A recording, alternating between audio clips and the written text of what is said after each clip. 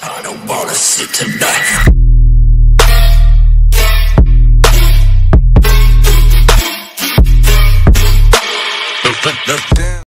稲垣五郎43、草薙剛43、香取慎吾40の3人が共演するインターネットテレビ局アベマット V の72時間ぶっ通し生放送稲垣草薙。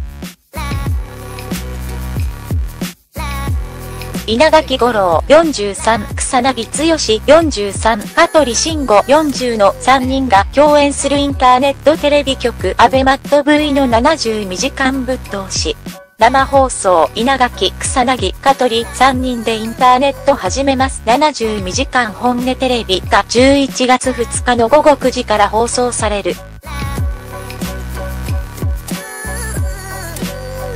未開のジャンルへ踏み出す香取に率直な心境を打ち明けてもらった。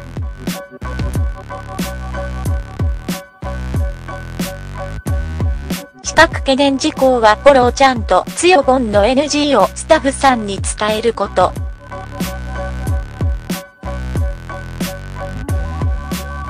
ダッシュダッシュ番組でやってみたいことははてな。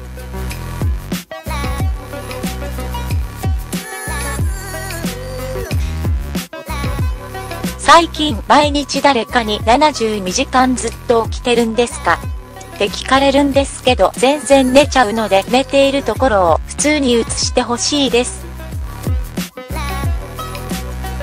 放送中でも下手したら8時間くらい寝ちゃうかもしれないけど笑い。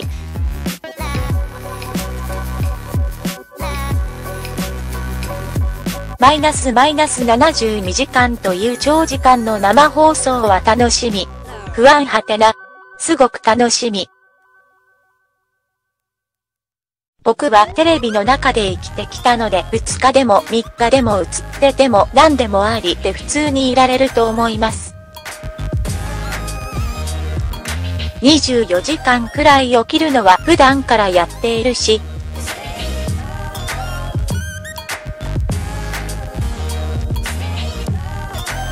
だから今の僕の懸念事項はフォローちゃんと強ボンの NG な部分をスタッフさんに伝えること。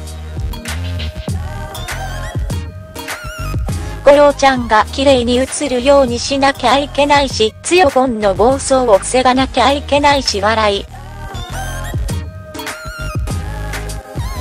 新しいスタッフの方もいっぱいいるので一から伝えています。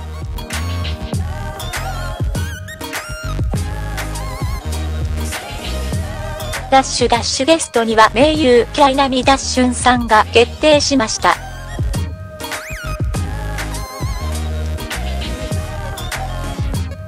そのニュースをスマホで見てた時、ちょうどうどちゃんからメールが来たんです。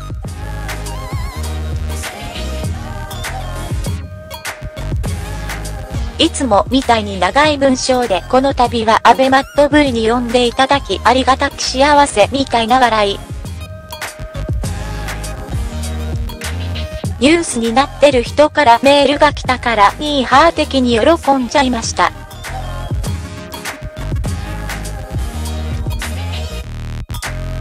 ゲストが決まるたびにこの人が来てくれるなら何をやろうって頭がどんどん働いていきますね。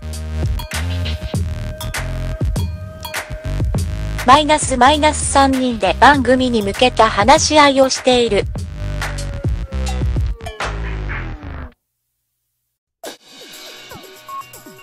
数日前に食事に行ったけど、つよぽんが愛犬のくるみを連れてきまして、ポロちゃんが思い切り腕を噛まれて痛い痛いって、そんな感じで話し合いにならなかったです笑い。でも、つよぽんが珍しく熱くなってましたね。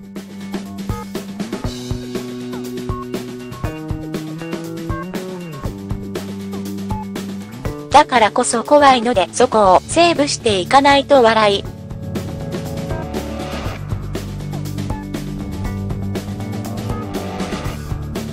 ダッシュダッシュ改めて感じた二人の好きなところ、すごいと思うところ、本音で教えてください。草薙号はここぞという時を逃さずにスイッチが入るところが好きですね。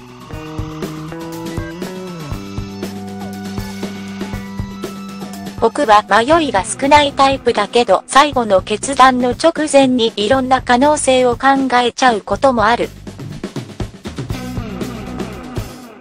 そんな時に行こうぜ。って勢いをつけてくれるのでじゃあやってみよ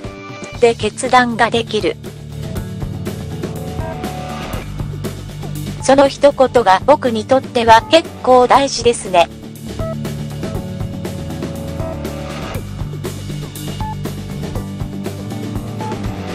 五郎ちゃんは今は大事なタイミングだろう。っていう時でも一切連絡してこないその感じが好き笑い。かっこよく言えばそんなに言わなくてもっていう空気なんですよね。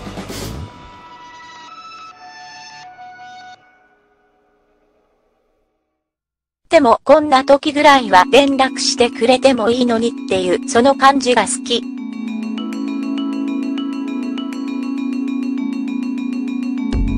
この前の食事の帰りに、フォローちゃん身長大きくなった。かっこよくなったねって言ったらああそうって感じだったけどすごく嬉しそうでした笑い。ダッシュダッシュ新しい地図の反響も大きいです。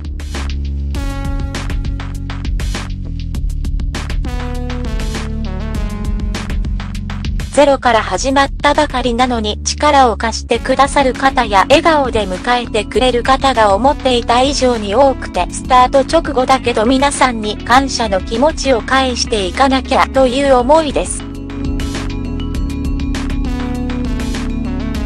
この番組にも新しい地図にも僕がびっくりするようなとんでもない才能のスタッフの方々がウルトラマン大集合みたいに勢揃いしてくれて、こんなに集まったところを僕も見たことがなかったから夢のようですよ。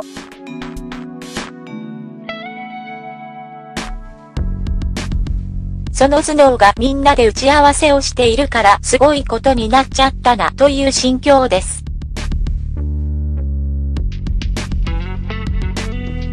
近くネット上の声はみんなすごく応援してくれているからすっごい力になってます。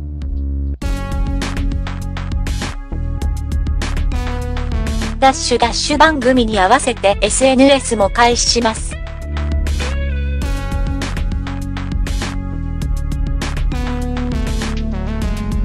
これまでパーフェクトビジネスアイドルとして活動してきましたが、どのような展開を考えていますか？3人の中では SNS に一番詳しいと思うけど今の知識じゃ完璧じゃないからちょっと考えています。個人的に始めるなら突き詰めるけど番組の企画としてスタートするから勉強しすぎるのも違うかなとか思案しちゃうのが僕のパーフェクトなところですよね笑い。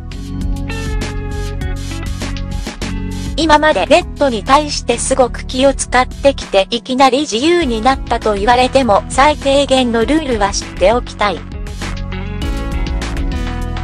SNS の勉強会にも参加してインスタグラムではプライベートを垣間見させてくださいとかアドバイスされたり人気のある人の写真を見たりしました。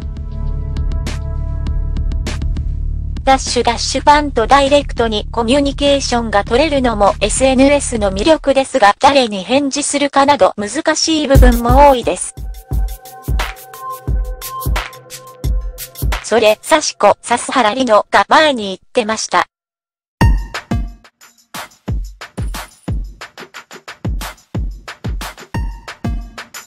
返事する一人を選ぶのが難しいからみんなとやりとりしたい。でも全員に返事をしていたら他の仕事ができないくらい忙しくなっちゃう。一週間に一人って決めるにしてもその一人をどうやって選べばいいのか。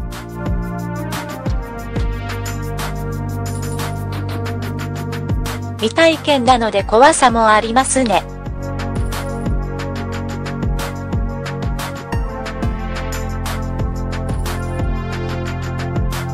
ってもそれ以上に新しいことを始められる楽しみが大きい。どんなことをやろうって純粋に楽しみたい気持ちが強いですね。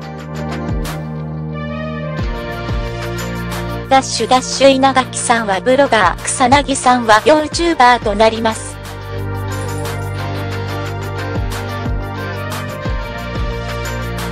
五郎ちゃんは綺麗な言葉が普通の会話にも入ってくるような人なので文章で読めるのが嬉しい。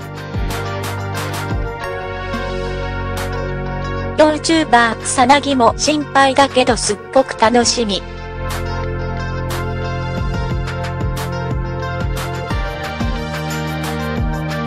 全然知らなかったはずなのに最近はすごく勉強しているみたいでそれが怖いんですけどね笑い。YouTuber について熱く語っている感じがいいです。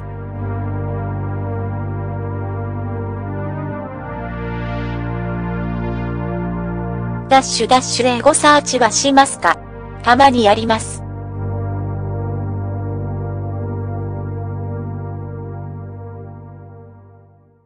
みんなすごく応援してくれているから、すっごい力になって、よし、頑張ろう。って思えます。たまに批判的な意見もあるけど、100人いれば100人がいいよって言ってくれるわけじゃないし、30年の芸能活動でいろんな批判もいっぱい浴びてきたので笑い。ネガティブな意見も批判ポイントはそこなんだって参考になるし、受け止めています。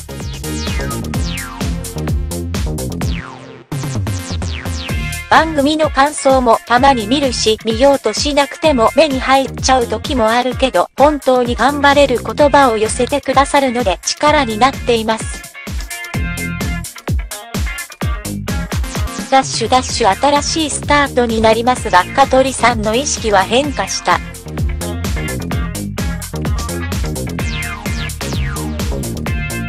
もっと遊びたいというか楽しみたい。